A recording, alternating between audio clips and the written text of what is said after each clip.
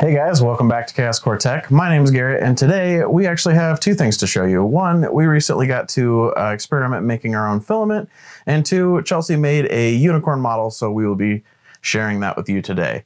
And apologies if you hear the thunder, it is currently storming, but I'm going to film anyway because that's the kind of channel we run around here. So, as I'm sure most of you saw, uh, recently we went up to see Joel Telling, the 3D printing nerd up in the Pacific Northwest, and um, he took us down to Protopasta, and we actually got to make our own filaments. Um, I'll put a link to the video up in the corner down here, also in the description. If you want to go check that out, it is over on his channel. So we are currently the only people in the world with these uh, filaments. Well, I'm sure Protopasta has a couple copies, but um, so we printed with them and we are going to show the results. So first I'm going to talk about them a little bit. This is Chaos Red. It is the red that I created, and my goal was basically just to create a dark red. Um, like I said, you can see more in Joel's video, but you know, you got to throw glitter in there just for good measure. So this is my Chaos Red. And this is the, actually the unicorn model that we'll be sharing, prints with no supports, but I'll talk about that in a little bit. But right now, we're just looking at the um, finish of the filament. And don't pay attention to print quality on these when we were at Protopasta um, the materials that we were using actually got some moisture in them, so they didn't extrude properly, and the diameter of these specific roll, uh, spools is a little bit off, so the print quality isn't the greatest, but that won't be an issue um, if you guys buy your filament from there. It was just these specific ones. But you can actually see what the color is going to look like, which is the important part. I'll put some close-up shots here so you can really get in there and see what the Chaos Red is going to look like. And then uh, this one is Chelsey's, and as you saw in Joel's video, um, she originally was going to go for a periwinkle, which I had no idea that that was even a color, but apparently it's a light blue purple, and um, it just didn't come out the way that uh, she wanted. It's pretty much just a blue, so she renamed it to Powder Puff Unicorn, which is actually the name of the unicorn she just created as well.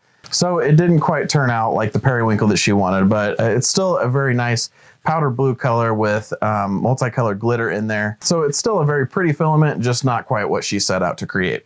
And here is her unicorn that we printed in um, the Powder Puff Unicorn filament.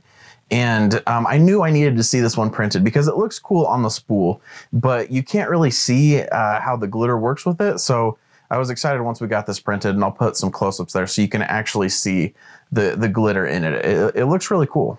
So you can actually get these filaments right now if you're watching this video within the first couple days of me uploading it um, over on the Protopasta website. But I think once that uh, the time period on that page is done, I don't think they're going to sell these anymore. So there is a limited time that you can get these if you want to get your head uh, hands on some Chaos Red and um, Powder Puff Unicorn. And then Sean, Joel Telling's assistant, also created a color. Um, what was it called, Chelsey?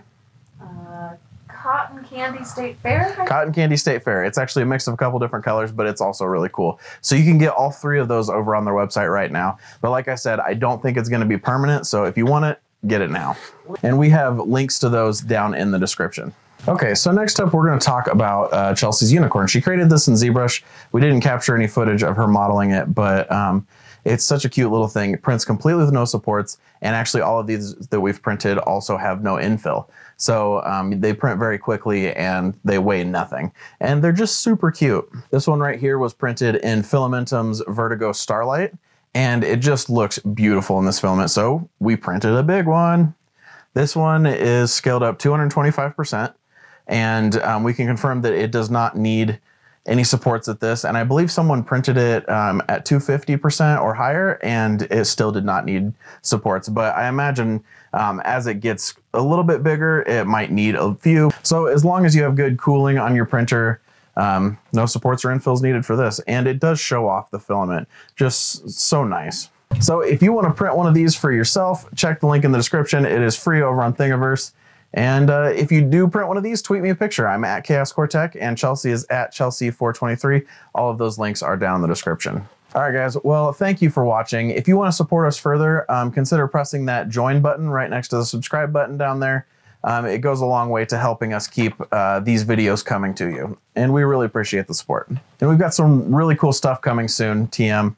So uh, be on the lookout for that. All right. Thanks for watching, guys. And until next time, keep creating. Thank you.